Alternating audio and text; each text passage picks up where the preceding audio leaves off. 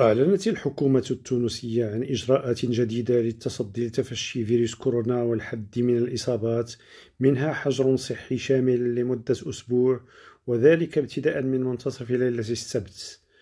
وحذر رئيس الحكومة التونسي هشام المشيش خلال ندوة صحفية من مغبة انهيار المؤسسات الصحية التي أوشكت على ذلك وهو ما وصفه بالخطر الذي يخيفنا خاصة عند رؤية أطباء على حافة الانهيار العصبي. وأكد أن تونس تواجه أكبر أزمة صحية منذ الاستقلال على مر تاريخها. وأكد أن فرض هذا الإجراء أملته ضرورة حماية الأرواح البشرية في ظل تفشي فيروس كورونا معتبرا أن تسجيل معدل الوفيات يقدر بمئة حالة وفاة يوميا أمر محزن جدا.